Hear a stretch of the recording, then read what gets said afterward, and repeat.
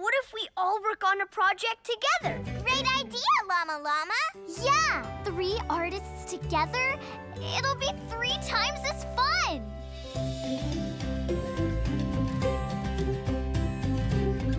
You don't look like you're having so much fun, Luna. I'm just not sure what we should make.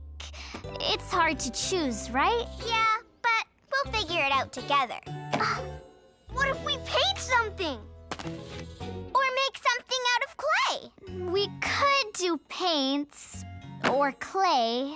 Or cut something out of paper? Hmm. We could do any of those things.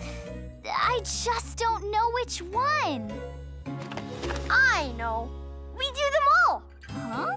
We make a sculpture out of clay, paint it, and then cut clothes out of paper to put on it. I like it. What do you say, Luna? It could work, but we should probably make a chart to make sure we've thought of all the ideas before we pick one. I think we need a play break from all this thinking. Good idea. I guess we could keep thinking outside for a few minutes.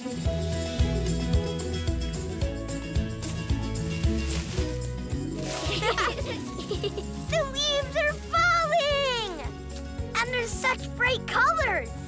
Yeah, the red, gold, and green look nice together.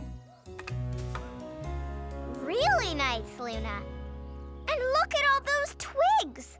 I bet we could make something out of them. Yeah, we could glue a bunch of things to a board and make a new piece of art. Like a collage. Hey, let's make a nature collage! I like that idea.